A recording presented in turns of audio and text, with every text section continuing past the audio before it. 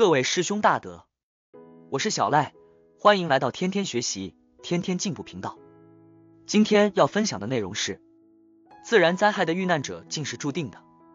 大地震前夕，小孩看见离奇景象。清代古籍《夜谭随录》记载，在雍正庚戌西元一七三零年年的八月十八日，也就是北京发生地震的前一天，有一个新疆人抱着一个三四岁模样的小孩进茶店，刚走到门口，小孩就抱住大人的脖子，哭着不肯进去。大人奇怪的想，难道是怕这店里人多吗？便又抱着他到其他店，一到店门口还没进去，小孩又惊恐的哭了。换了好多地方都这样，这个人觉得很奇怪，对孩子说：“平常你不是很喜欢进茶店吃糖果吗？今天怎么这样了？”孩子说：“我看见今天各家店里卖茶的人和吃茶的人脖子上都带着铁枷锁，心里害怕，所以不想进去。还有今天街上来来往往走的人。”怎么很多都带着枷锁呀？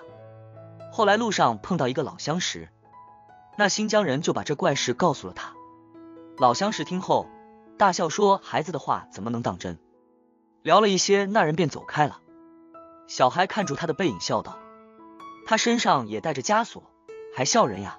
回到家里，小孩惊奇的发现两个堂兄身上都带有枷锁。第二天上午九点，北京忽然狂风暴雨大起。接着就发生了强烈地震，方圆百里之内震感明显，房屋倒塌无数，就连皇宫、圆明园也均有损坏，太和殿的一角也残缺了。凡是小孩不肯进的殿都遭毁坏，竟无一幸免。小孩的两个堂兄也被压在墙下面死去了。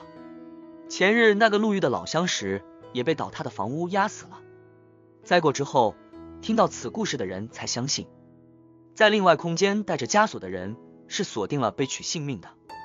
有些现代人听了这个清朝的故事，大笑说吓唬人。但是我的一位朋友说这是真的，我姐夫在另外空间就是戴着手铐脚镣的。我大惊，你怎么知道的？他说我姐夫曾在八十年代中期倒卖外汇，那时可以判死刑，够资格枪毙，后来托人情才把他弄出来。他不是正路弄来的钱。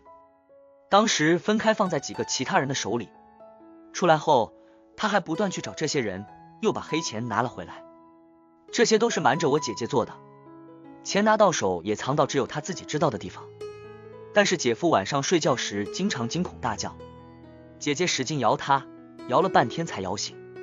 醒后满脸恐怖，竟一时不知自己身在何处。姐姐虽然不知发生了什么事，但知道他一定做过什么坏事。